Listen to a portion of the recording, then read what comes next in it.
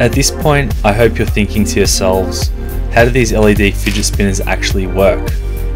Now it's a really simple concept. Um, all you have to do is pop open one of the caps and when you do this you'll see that it reveals a few holes in the fidget spinner and this little silver thing on the cap.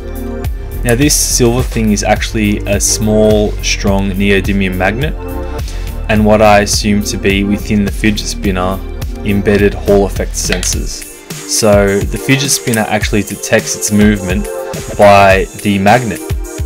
Now to demonstrate this I've just gotten a little cube magnet on this screwdriver and you don't actually have to spin the fidget spinner to set off the LEDs.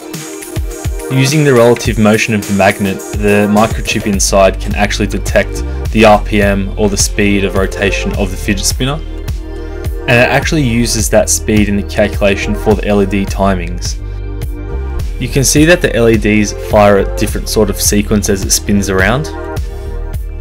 These LED sequences don't look like anything meaningful to us right now, but in real life, spinning at the speed these uh, fidget spinners are spinning, to our human eye, they look like words.